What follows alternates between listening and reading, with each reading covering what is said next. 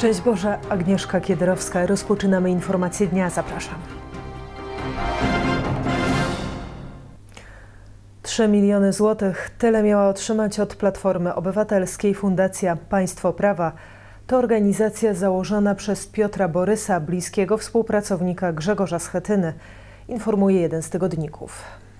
Fundacja Państwo Prawa zajmuje się działalnością na rzecz demokracji, wynika z informacji umieszczonych na jej stronie internetowej. Organizacja prowadzi panele dyskusyjne, warsztaty i konferencje. Fundacje tworzą takie osoby jak profesor Marek Chmaj, profesor Anna Rakowska-Trela czy Jacek Dibuła. Jej prezesem jest były pracownik Ministerstwa Sportu w rządzie PO-PSL Tomasz Świętoński. Z kolei założycielem fundacji Piotr Borys. To prawa ręka lidera Platformy Obywatelskiej Grzegorza Schetyny ujawnia jeden z tygodników. Fundacja w ciągu trzech lat swojej działalności miała otrzymać od Platformy ponad 3 miliony złotych. Jak pisze tygodnik, większość członków ugrupowania nic nie wie o działalności fundacji, a powiązania między jej założycielem a Grzegorzem Schetyną były ukrywane.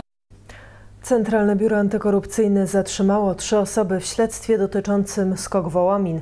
Chodzi o powoływanie się na wpływy w instytucji państwowej. Centralne Biuro Antykorupcyjne zatrzymało trzy osoby zamieszane w aferę Skok Wołomin. Znanego trójmiejskiego adwokata, byłego podsekretarza stanu w Ministerstwie Skarbu Państwa, który pełnił tę funkcję w latach 2004-2005 i przedstawiciela jednej z warszawskich firm. Toczące się postępowanie obejmuje nadzór nad Skok Wołomin od 2012 do 2014 roku oraz powoływanie się na wpływy w instytucji państwowej. To nowy wątek w sprawie, informuje CBA. Funkcjonariusze Centralnego Biura Antykorupcyjnego przeszukują miejsca związane z zatrzymanymi. Wszyscy oni trafią do prokuratury regionalnej w Szczecinie, tam usłyszą zarzuty. W głównym śledztwie w sprawie Skok Wołomin CBA zatrzymało już kierownictwo Komisji Nadzoru Finansowego oraz jej pięciu urzędników. Podejrzani usłyszeli już zarzut działania na szkodę interesu publicznego na kwotę 1,5 miliarda złotych oraz na szkodę interesu prywatnego na kwotę 58 milionów złotych. Lubelscy funkcjonariusze kasy zatrzymali prawie 20 milionów ton podrobionych zabawek przemycanych z Chin. Ponadto uznano je za niebezpieczne i szkodliwe dla zdrowia dzieci.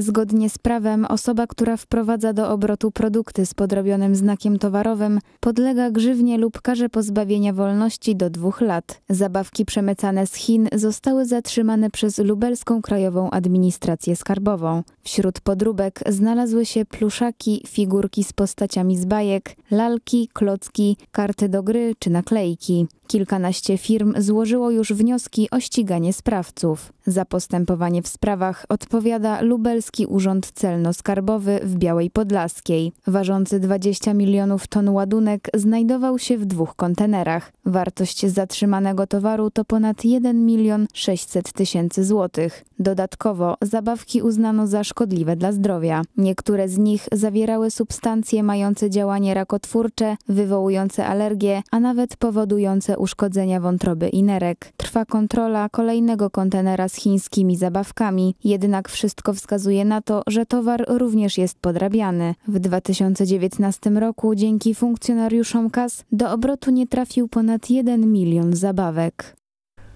38 lat temu doszło do pacyfikacji kopalni Wujek. W Katowicach odbędą się dziś uroczystości upamiętniające poległych górników. Minęło 38 lat od wprowadzenia stanu wojennego w Polsce. Już zaledwie po trzech dniach 16 grudnia 1981 roku doszło do największej tragedii tego czasu. Po aresztowaniu szefa zakładowej Solidarności górnicy z kopalni Wujek rozpoczęli strajk. Z czasem dołączyli do nich pracownicy innych zakładów, poszerzając swoje postulaty o zakończenie stanu wojennego oraz przywrócenie działalności Solidarności. W Wujku strajkowało około 3000 górników protestujących, otoczyły wojsko oraz milicja, funkcjonariusze oddali do nich serię strzałów. Zginęło wówczas dziewięciu górników, a kilkudziesięciu zostało rannych. Działające przy kopalni Wujek Śląskie Centrum Wolności i Solidarności upamiętni dziś ofiary tego wydarzenia. Uroczystości rozpoczną się Eucharystią w kościele pod wezwaniem podwyższenia Krzyża Świętego w Brynowie. Dalsza część obchodów będzie trwała pod krzyżem pomnikiem górników poległych znajdującym się przy kopalni Wujek. W uroczystościach weźmie udział premier Mateusz Morawiecki. Do jutra Urząd Regulacji Energetyki ma wydać decyzję dotyczącą taryf za energię elektryczną na przyszły rok. Sytuacja ma umożliwić przedsiębiorcom wprowadzenie od stycznia nowych stawek.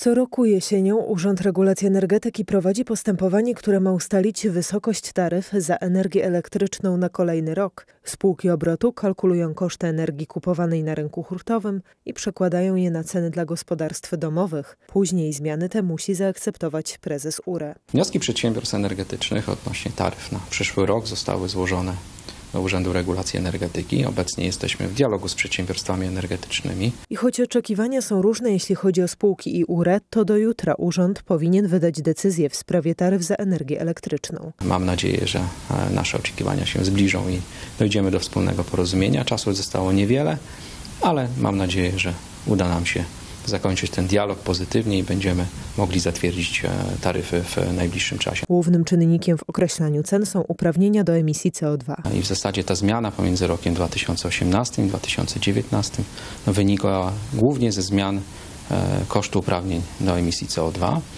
E, ceny te w 2018 roku, czy koszty wzrosły mniej więcej z poziomu 5-7 euro do poziomu obecnie około 25 euro i to był no, główny przyczynek tych zmian. E, wzrosły również koszty, koszty paliwa. W tym roku gospodarstwa domowe nie odczuły podwyżek cen energii, ponieważ stawki zostały ustawowo zamrożone na poziomie z czerwca ubiegłego roku. Ceny za energię elektryczną w ostatnich latach kształtowały się na poziomie od około 250 zł za megawattogodzinę w 2016 roku do około 242 zł na megawattogodzinę w 2018 roku. Zbliżają się święta Bożego Narodzenia. Zanim zasiądziemy do stołu wigilijnego, będziemy łamać się opłatkiem. Wigilijny opłatek powinien być pobłogosławiony, przypomina rzecznik Konferencji Episkopatu Polski, ksiądz profesor Paweł Rytel-Adrianik. Konferencja Episkopatu Polski wskazuje na szczególne znaczenie opłatka. Opłatek to nie jest zwykły towar. Powinien być pobłogosławiony. Ocalmy więc piękną tradycję wieczerzy wigilijnej. Dzielmy się pobłogosławionym opłatkiem. Zadbajmy o duchowy wymiar świąt Bożego Narodzenia. Nawiązując do słów modlitwy błogosławieństwa opłatków, ksiądz profesor Paweł Rytel-Adrianik, rzecznik kapu, przypomina, żebyśmy łamiąc się opłatkiem na początku wieczerzy wigilijnej, nie tylko składali sobie życzenia, ale także wybaczali urazy. Bóg się rodzi w Karmelu. To tytuł płyty, którą siostry karmelitanki ze Spręcowa nagrały ze swoimi współbraćmi z Krakowa. Na płycie można znaleźć tradycyjne polskie kolendy i pastorałki. W wielu klasztorach karmelitańskich do dziś pielęgnowana jest tradycja wspólnego kolędowania karmelitów bosych i karmelitanek bosych. Pomysł nagrania płyty z kolendami zrodził się w ubiegłym roku. W zeszłym roku udało nam się nagrać jedną kolendę, zrealizować taki pseudo wideoklip i siostry, kiedy zobaczyły, jakie mają możliwości wokalne i jak wspaniale wyglądają również w kadrze telewizyjnym, szybko zdecydowały się na to, aby pomimo klauzury, zamknięcia nagrać e, płytę kolendową. Dla sióstr karmelitanek było to niecodzienne wydarzenie. W naszym Karmelu tutaj e, powstała praktycznie pierwsza część płyty. Udało nam się nagrać prawie wszystkie kolendy. Partię męską nagrali ojcowie karmelici Bosi w Krakowie. Na płycie można znaleźć tradycyjne polskie kolendy i pastorałki z dźwiękami harfy celtyckiej. To są właściwie wszystkie kolendy tradycyjne, ale w bardzo ciekawych aranżacjach i w bardzo ciekawym klimacie, ponieważ jedynym instrumentem towarzyszącym, głównym instrumentem jest harfa celtycka. Wśród 15 nagranych utworów są dwa typowo karmelitańskie. Nie masz ci nie masz oraz jam jest dudka. Płytę oczywiście można nabyć e, w naszym wydawnictwie Karmelitów Bosych w Krakowie, oczywiście poprzez e, stronę internetową, jak również e, siostry karmelitanki Bose ze Spręcowa i z Ełku będą w swoich klasztorach i gdzieś pewnie w okolicy, w swoich diecezjach rozprowadzać te płyty. Niech ta płyta z kolendami rozbrzmiewająca w naszych domach jeszcze bardziej ubogaci nadchodzące święta Bożego Narodzenia. Szykują się zmiany w brytyjskim rządzie. Nawet jedna trzecia obecnych ministrów może stracić swoje stanowiska po Brexicie. Wielka Brytania powinna opuścić Unię Europejską do 31 stycznia. Pierwsze zmiany w brytyjskim rządzie nastąpią już dzisiaj. Są to jednak zmiany kosmetyczne i nieuniknione. Minister środowiska przegrał wybory w swoim okręgu, minister kultury nie startowała w wyborach, a minister do spraw Walii sam zrezygnował ze stanowiska na początku kampanii wyborczej. Z dumą mogę powiedzieć, że członkowie naszego nowego większościowego rządu, rządu ludowego, będą pochodzić z okręgów wyborczych, które przez ostatnie 100 lat nie oddały głosu na konserwatystów. Ministrowie będą mieli przytłaczający mandat do tego, by załatwić Brexit. Do większych zmian dojdzie jednak w lutym po Brexicie. Będziemy w stanie opuścić Unię Europejską przed 31 stycznia przyszłego roku. Następnie zakończymy rozmowy z Unią na temat nowych ram wolnego handlu i przyjaznej współpracy, które będziemy z nimi prowadzić do końca przyszłego roku. Roszady w rządzie mogą dotyczyć nawet jednej trzeciej stanowisk. Ludzie chcą zdecydowanego i silnego rządu, który nie tylko doprowadzi do Brexitu, ale także zapewni dynamiczną gospodarkę i silne usługi publiczne, których potrzebujemy. Wiele osób po raz pierwszy pokłada zaufanie w konserwatystach. To właśnie potrzeby wyborców mają być numerem jeden nowego rządu.